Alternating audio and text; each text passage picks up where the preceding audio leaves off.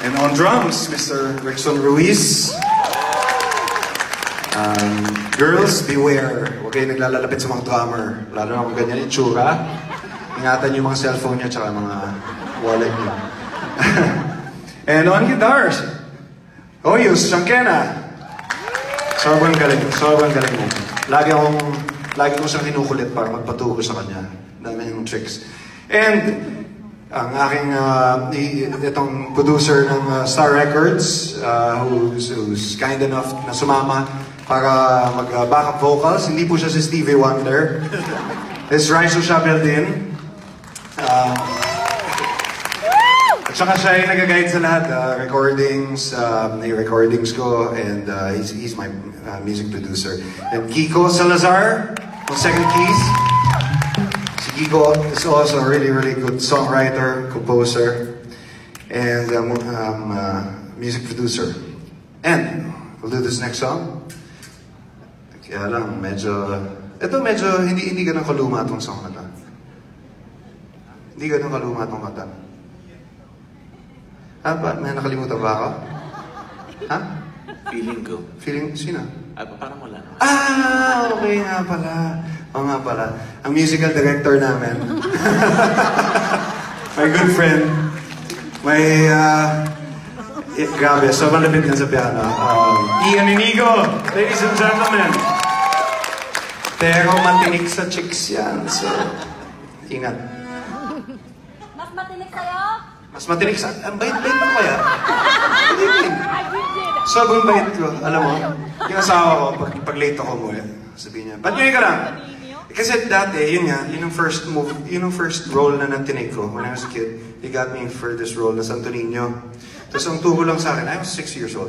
Ang tuho lang sa akin, just put my hand like this and like this, and then look as if wala lang. So, so, so my wife, pag late ako umuwi, saan ka galing?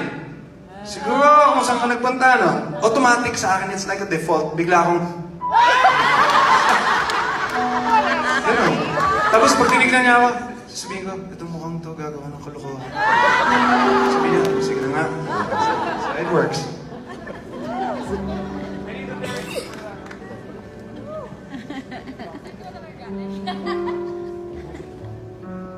Nay, gumawa ka na ng kalokohan. So I'm gonna do now uh, an original song.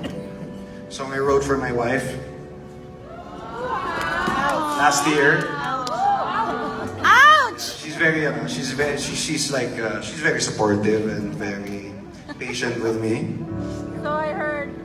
Kasi she, uh, she's accepted the fact that my brain got stuck at 14.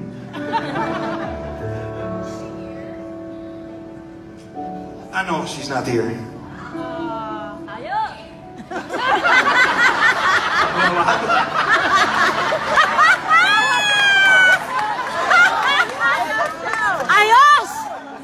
Parang ang saya-saya mong wala siya dito.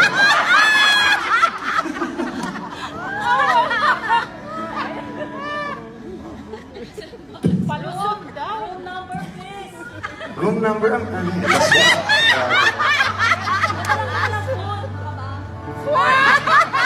Food daw.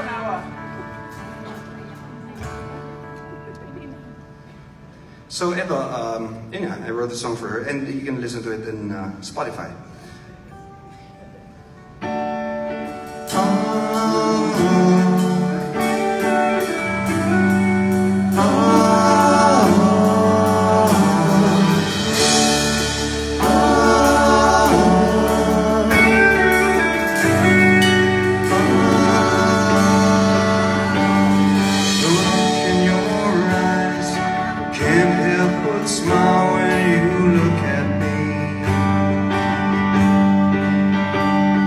First touched your hand.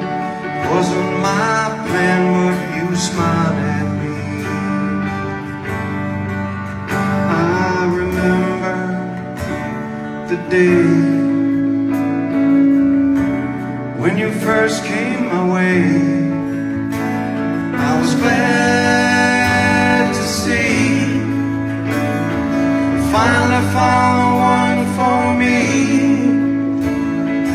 Everything seemed so bright.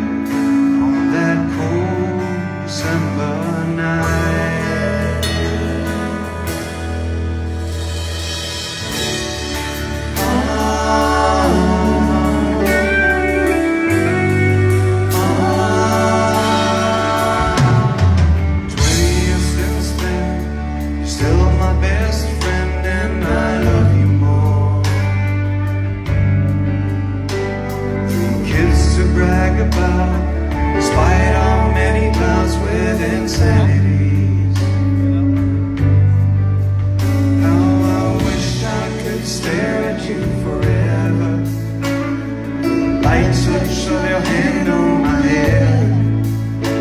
You made my life so meaningful. The touch of your skin so fresh. I worry about saying goodbye, my love When the sun starts to